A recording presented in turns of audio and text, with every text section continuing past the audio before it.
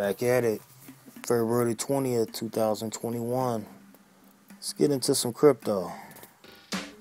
Thanks to Trillion Bitcoin, Binance Coin goes parabolic, NFT Mania, Hodler's Digest, February the 14th through the 20th. It's a shot from Cointelegraph.com. It's a good site to go on to keep in tune and in touch with uh, what's going on in the crypto market and uh, we can see that Bitcoin has reached the one trillion dollar market cap um, in 2021. We see that uh, Ethereum has also uh, reached an all-time high in 2021 as well. So when we first started posting the videos on Bitcoin and Ethereum in 2021. I think Bitcoin was around 30,000 and Ethereum was like $1,200. And it's like they went up a lot in a short time span. And that's the, reason why we've been talking about crypto and getting involved with crypto. And uh, we see Bitcoin hits uh, 57,500 I mean, it dropped all the way down uh, close to that twenty-one thousand dollar mark that we were looking for, and that was the perfect time to load up uh, on as much uh, BTC as you can get.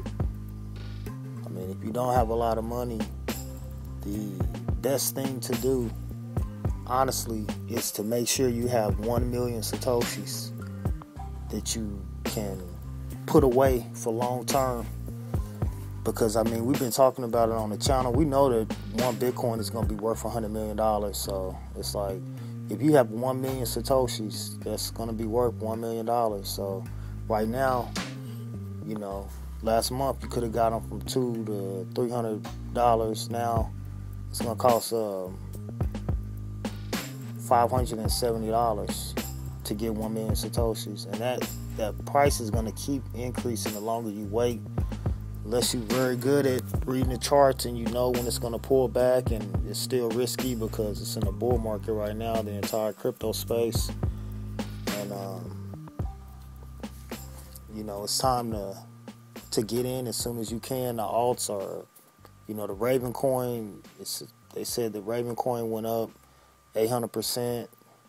That's another coin that i have been getting um, on the uh, the Graviex uh, exchange.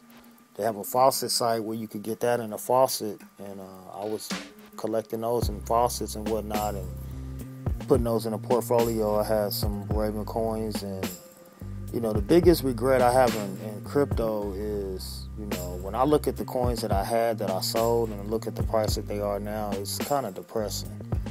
So it's like when you get in crypto, the, the biggest thing about it is to make sure you you hold on to your coins. You don't give them away. You don't sell them. You know, you just hold them for long term gains.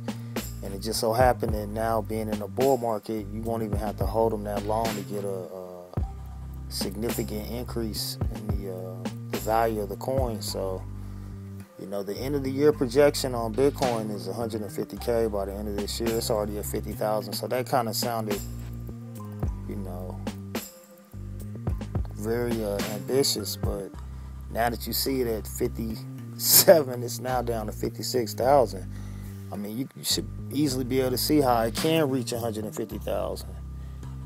And I have a price projection list, and I want to get to that and start making videos on the uh, the coins that are on there and presenting that. And uh, we're gonna get to that.